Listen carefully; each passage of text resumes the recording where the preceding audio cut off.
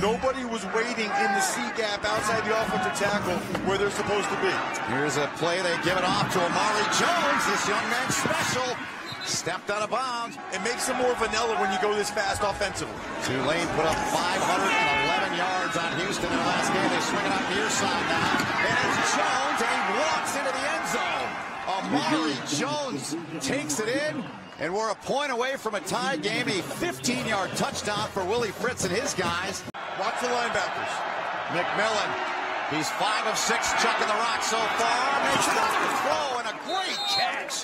Amare Jones, this young man is something special. That means get the ball to Amare Jones out of the backfield against the safety. And they did a pickup of 20.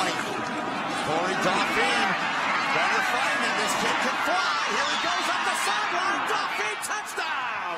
There's that sprinter speed.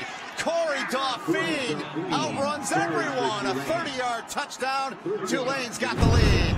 Amare Jones to the right of Justin McMillan. The lefty looking to dump it off and does. Finds Jones. Jones got a block. Amare Jones, here he goes. Up the sideline. Can they force him out? And finally he's dragged down, but a huge pickup. No question about it, McMillan. He's going to keep it. You called it. Did he get in? No signal yet. Now we get a signal. It's a touchdown. Justin McMillan is a touchdown. on first and goal. Hopkins Jr. into the pit. And Hopkins Jr. Touchdown! Touchdown Army! Kelvin Hopkins Jr. caps off the march.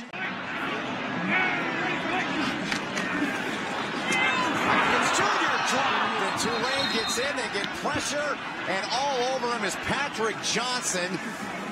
Came in. Did it earlier in this end zone for this end of the field. Hopkins stretching touchdown.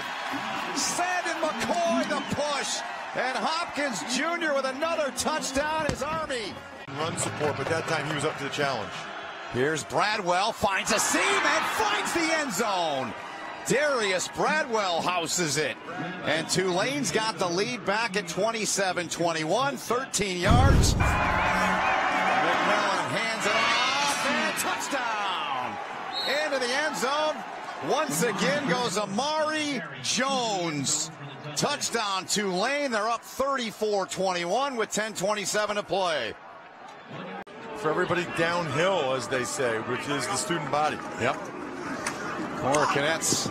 This is Carroll again. Carroll gets away and into the open field. It's going to be a touchdown for Tulane. House call from 41 yards. The green wave just rolling, having their way.